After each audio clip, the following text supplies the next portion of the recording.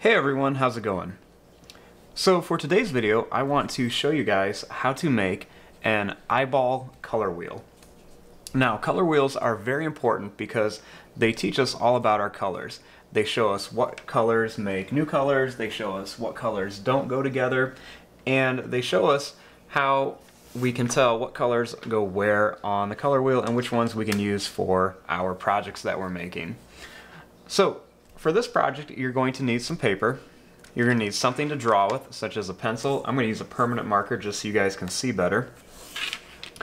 You need a ruler, an eraser, and then you're going to need some markers or crayons. And then you need something to color with. I'm going to use some paint some of this watercolor paint that works really well. But you can also use markers, colored pencils, crayons, whatever you want to use. Now, to start off with this, we're going to make a circle on here. And I like to just trace something, so I'm just going to use this paint palette. Now, if this is too big, you can always use something a little bit smaller, but I'm just going to use this because this is a nice size. So first thing I want to do is I want to draw a nice circle right around there. And that's going to be the start of my eyeball. Now, we want to label our color wheel in here. So the first thing you want to do is you want to take your marker and you want to draw a small little dot in the center. Now the next step is we need to divide this up and we need to divide this up into 12 different little triangles. So this is how you're going to do it. So the first thing you want to do is you want to line up your ruler up and down right onto this dot. Don't put it on top of the dot or else your lines are going to be off. So you want to see your dot when you're drawing this line. So once you have it lined up, just draw a nice line right down here. Then you're going to do the same thing going from side to side. So you have a big plus sign. Now, the next step is we need to add two more lines inside each one of these. And the easiest way to do this is to just go ahead and put two little dots inside each one. And make sure the dots are even apart. So you have three even triangles. So I'm going to go ahead and put these little dots in here as evenly apart as I can. And then very easy, all you want to do is line up your point to the dot. So you just want to line this up and draw right to there. And then do the same thing, line it up and go right to there. Now you don't want to try to draw this all the way across because sometimes they don't line up very well. So just go ahead and connect all these lines to your dot.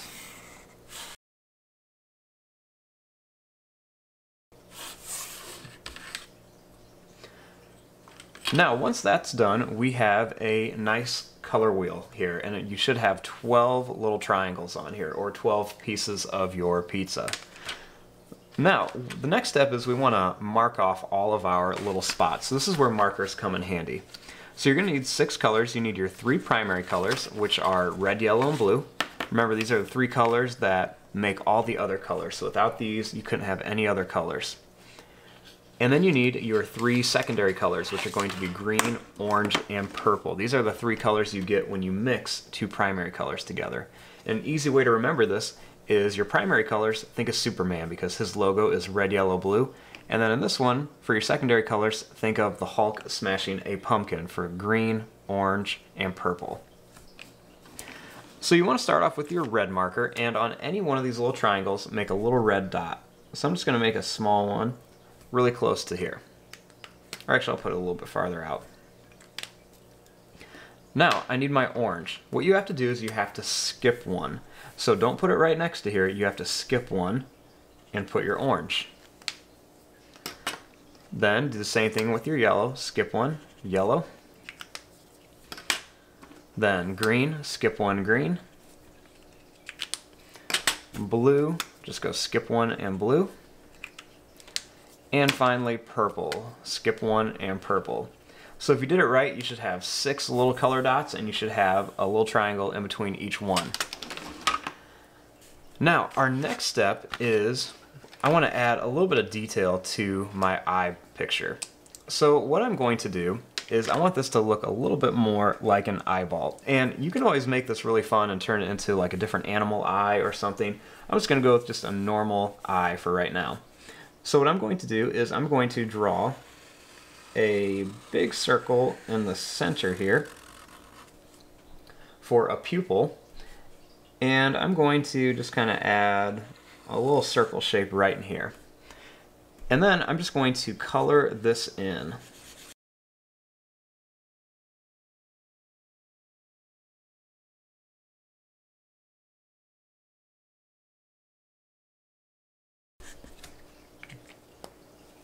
Now make sure when you're making this pupil you don't make it too small because if you do it just doesn't look right. And this is the part you can always add like extra things to make it look more like a different animal or something, just lots of fun things you can do. I'm just gonna make it a normal eye. So then what I'm gonna do is I'm gonna draw a line that goes from here, it's gonna curve up, touch the top of my eyeball, and then come to here. So I'm just going to draw a line, I'm gonna run right across the top of my eyeball and then come right to here. Then I'm gonna do the same thing at the bottom. I'm just going to curve down, I'm gonna touch the very bottom and then come right to here. Then you can add extra things if you want to add an eyelid above it. You can. You could do something like that. You could add some eyelashes. There's lots of different things you can do. When making eyelashes, you always want to have them go out at an angle. And so what I like to do is I go out at an angle and then I'll come in and I'll throw some extra ones in between.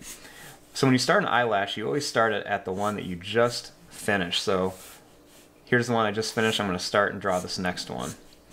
And that just kind of really helps it get filled up. You can add extra ones in there as well. Put a few more down here. Just to make it look more like a realistic eyeball.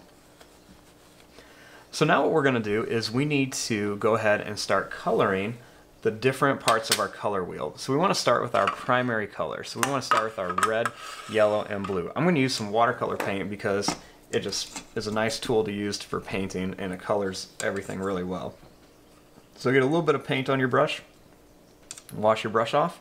And I'm going to put this red paint right here where this red dot is. Now make sure when you're painting you're staying in the lines, taking your time, and don't push down really hard with your brush. You don't want to give your brush a bad hair day. So just go ahead, get some paint, and just kind of brush it on here. And fill in all of your white spots. You don't want to leave any of those.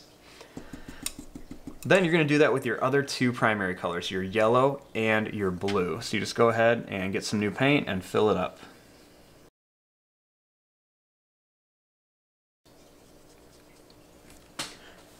So there we have our three primary colors. We have our red, yellow, blue. Now these are the most important colors because these colors make all the other colors. If we didn't have these, we couldn't have any of the other colors. Now we need to make our secondary colors. Now when you're making your secondary colors, you want to mix your primary colors to make those. Now, if you don't have paint and you just need to use markers or crayons or something, that's totally fine. But this is just really good practice. Now, I need to figure out what makes orange, purple, and green. So to do this, I'm just going to start with orange, and I'm going to look at the two colors that are closest to it. Those are going to be red and yellow. So this is telling me that if I mix red and yellow, I will get orange. So let's try it out. So you just want to go ahead and get some red paint on your brush. You want to throw it in one of the spots. Get some water on your brush. Cleaned off, then I'm going to get yellow. I'm going to need a lot of yellow because the red is pretty dark. So I'm gonna need a lot of water. I wanna make sure that I'm cleaning off my brush so I don't mix up all that yellow inside of here. So I'm going to mix all that up.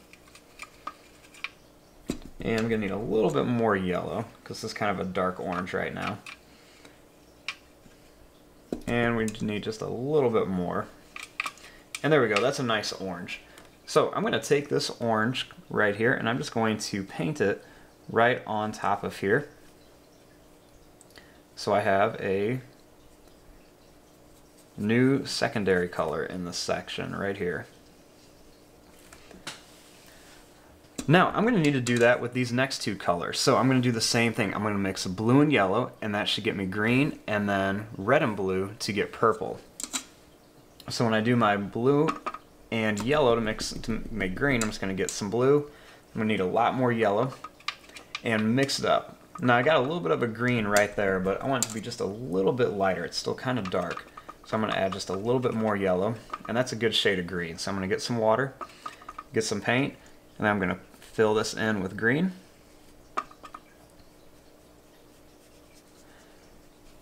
And then now I need to do my purple. Now sometimes when you're mixing the purple, it doesn't always come out to be like a super bright purple, but that's okay. You just have to kind of use it. So we're gonna mix some blue and some red. And you can see the shade of purple. It's not perfect. It's a little bit, or almost like a maroonish color. You can add some more blue to try to, you know, fix it, but it's never gonna be like a really bright purple, but it still works for what we need it to. So go ahead and add your purple onto here.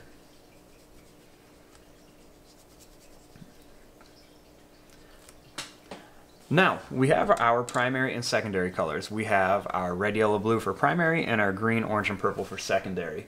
But now we have all these white spaces and we need to fill those up and we're going to do those with what we call our tertiary colors. Now, our tertiary colors are the colors you get when you mix one primary color and one secondary color. And these are really easy because, look, if I want to figure out what goes here, I just mix red and orange. And whatever I get, that's going to go there and you just call it whatever these two colors are. So when you mix red and orange, they make red-orange. You always put the uh, primary color before the secondary color. So since I already have these nice colors made, I'm going to use this paint palette. I'm going to put some red in here. I'm going to wash off my brush and then get some orange. And when I mix it up, I'm going to put a little bit more orange in there.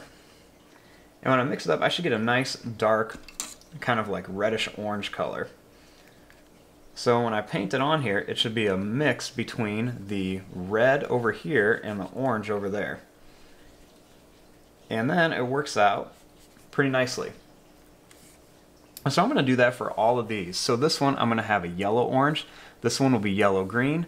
This one will be blue green. This one will be blue purple or blue violet. And this one will be red purple or red violet. So I'm going to go ahead and mix all these colors up real fast.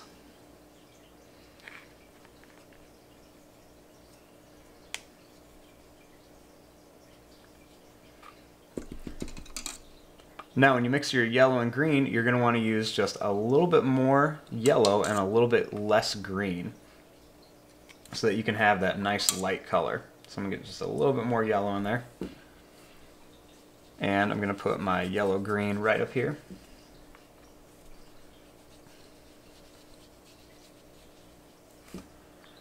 Now right over here we need our yellow orange. I skipped that one. So I'm going to mix some orange. I'm going to put some right in here. Sometimes it takes a few tries just to get enough paint in here. I'm going to wash my brush. I'm going to get some yellow. And I should lighten it up and it should be a nice little yellow orange. Not as dark as orange and not as light as yellow. And this is a pretty good yellow orange right here for this one. Now over here I'm going to mix blue and green so I should get a nice blue-green color. So I'm going to put some green in my paint palette. I'm going to get a little bit of blue. I'm going to need a little more green because that blue is really dark. Now we're going to go just a little bit more. We have a nice blue-green color, and that works out really well for this one.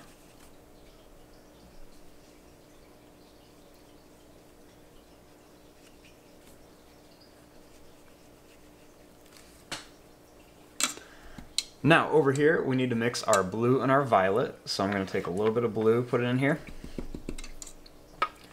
Get some of our violet, mix it up. And we should have a nice blue-violet color right here.